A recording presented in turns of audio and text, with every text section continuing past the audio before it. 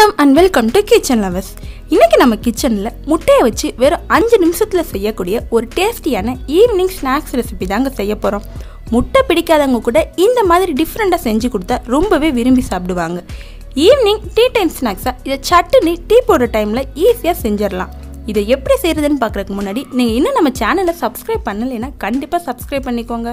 நீங்கள் பண்ணுற ஒவ்வொரு சப்ஸ்கிரிப்ஷனும் எனக்கு ஒரு மோட்டிவேஷனாக இருக்கும். வாங்க இப்போ ப்ரிப்பரேஷனை பார்ப்போம். இன்றைக்கி நான் ரெண்டு வெங்காயம் எடுத்திருக்கேன். இப்போ இது நம்ம இந்த மாதிரி ரவுண்ட் ஷேஃபாக கட் பண்ணிக்குவோம்.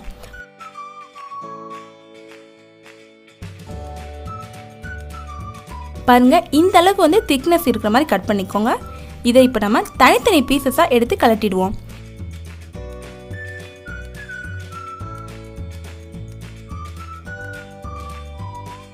இந்த மாதிரி தனித்தனி பீசஸாக எடுத்ததுக்கு அப்புறமா மீதம் இருக்கிற இந்த பீசஸை சின்ன சின்னதாக நம்ம கட் பண்ணிக்குவோம்.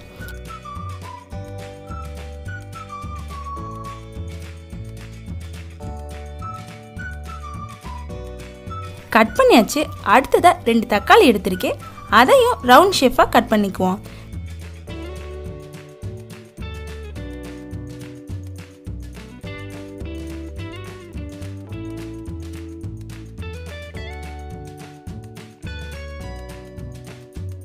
கட் பண்ணதுக்கு அப்புறமா நடுவில் இருக்க இந்த விதைகள் எல்லாம் இப்படி கட் பண்ணிக்குவோம்.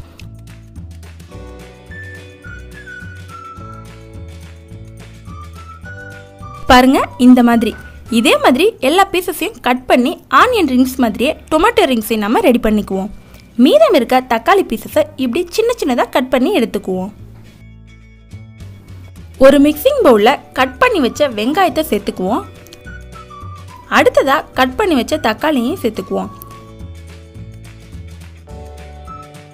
ரெண்டு பச்சை மிளகாயை சின்ன சின்னதாக கட் பண்ணி வச்சுருக்கேன். அதை உள்ளே சேர்த்துட்டு கூடவே கொஞ்சமாக கருவேப்பிலை கொத்தமல்லியை கட் பண்ணி வச்சுருக்கேன். அதையும் ஆட் பண்ணிக்குவோம். இப்போ இதில் கோதுமை மாவு சேர்க்க போகிறேன் இன்றைக்கி நான் ரெண்டு ஸ்பூன் அளவு சேர்த்துருக்கேன். ஏன் கோதுமை மாவு சேர்க்குறோன்னா அப்போ தான் வந்து இந்த மிக்ஸ் வந்து நல்லா திக்காக வரும். அதுக்காக தான். அடுத்ததாக அரை ஸ்பூன் அளவு பெப்பர் பவுடர் கால் ஸ்பூன் சீரகத்தூள் ஒன் பிஞ்ச் அளவு மஞ்சள் தூள் கால் ஸ்பூன் இஞ்சி பூண்டு பேஸ்ட்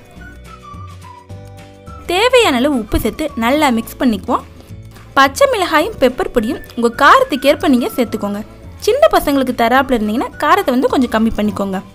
முட்டை சேர்க்குறதுக்கு முன்னாடியே இப்படி நம்ம மிக்ஸ் பண்ணுறதால கோதுமை மாவு கட்டிப்படாமல் நல்லா கரைஞ்சிரும் அதுக்காக தான் நல்லா மிக்ஸ் பண்ணியாச்சு.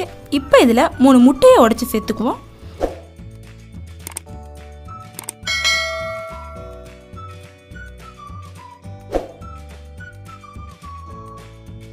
முட்டை நல்லா மிக்ஸ் ஆகுற மாதிரி ஒரு ஸ்பூன் அப்படி இல்லைன்னா ஃபோர்க்கை வச்சு நல்லா நுர பொங்குற அளவுக்கு வந்து நம்ம பீட் பண்ணிக்குவோம்.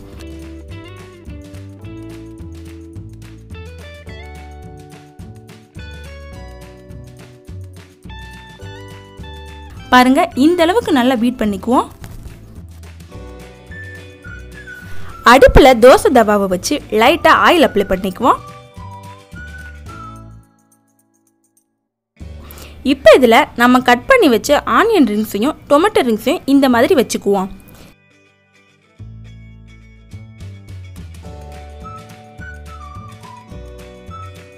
இப்போ இதில் ரெடி பண்ணி வச்ச எக் மிக்ஸை ஒரு கரண்டியால் எடுத்து இப்படி நடுவில் ஊற்றிக்குவோம்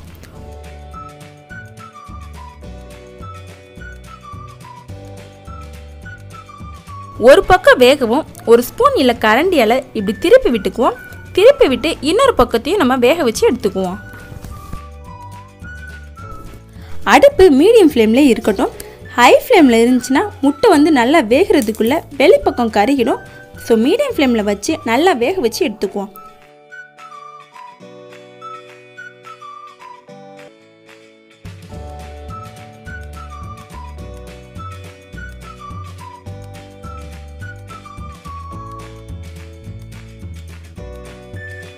இதே மாதிரி எல்லா ரிங்ஸ்லையும் முட்டையை ஊற்றி வேக வச்சு எடுத்துக்குவோம்.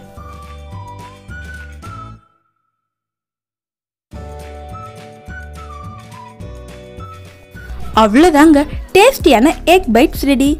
இது ரொம்பவே ஈஸியான ரெசிபி. ஈவினிங் டீ டைம் ஸ்நாக்ஸாக இதை சட்டுன்னு ரெடி பண்ணிடலாம்.